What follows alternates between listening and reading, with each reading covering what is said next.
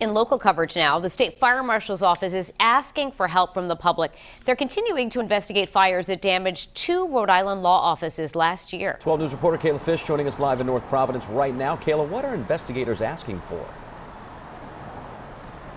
Well, Patrick and Danielle, investigators from not only the state fire marshal's office, but also the ATF and the FBI, they're looking specifically for photos and videos from the scenes of these two fires last year that happened within two months of each other. So the first fire happening at the Warwick Law Office of House Speaker Joe Shekarchi, that was happening last May. While the state fire marshal hasn't ruled out arson here, the cause of the fire remains unknown due to the extent of the damage damage. Now, seven months after that incident, a car parked outside Shekarchi's condo burst into flames. We asked him last week whether he thought there was a connection between the two.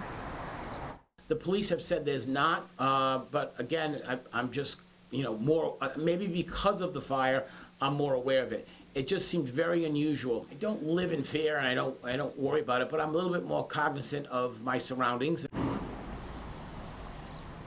Now, investigators are also looking for more information into this fire. You should see it right there on your screen. It happened back in July, about two months after the one in Warwick. This blaze destroying the North Providence law office of Steve Conti, who told 12 News at the time that he believed that he was targeted because he's an eviction attorney.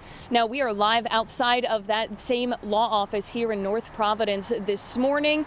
And for the most part, that damage that was caused by that fire has been all cleaned up and repaired. But again, investigators still looking into a cause of this fire. So if you have any information, photos or videos of either of these incidents, investigators would like you to give them a call.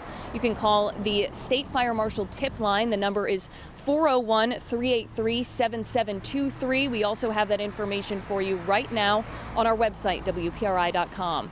We're live in North Providence this morning. I'm Kayla Fish, 12 News. All right, Kate, thank you. Now turning to the update here on an investigation into two fires, one of which destroyed a law office of House Speaker Joe Shekarchi last year. State Fire Marshal's office along with the FBI asking for help from the public as they continue looking for a cause. Kayla Fish live in North Providence right now with more details.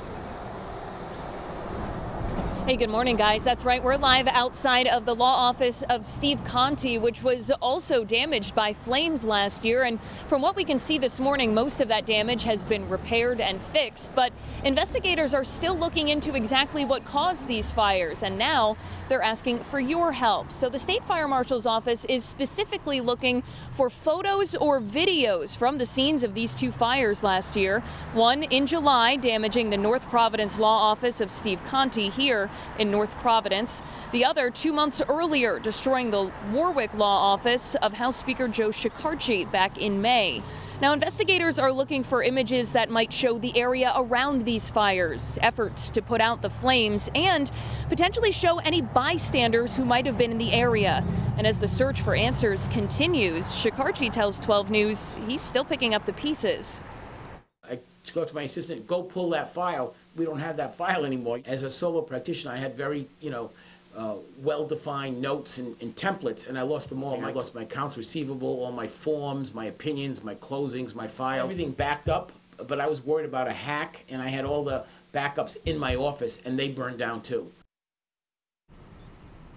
Now, this investigation is bringing together agencies uh, from multiple places, not only the Warwick and North Providence police departments and the state fire marshal's office, but also the ATF and the FBI. So, again, if you have any information, photos, videos, you can contact authorities. The tip line number is 401 383 7723. We also have all of that information for you right now on our website, WPRI.com.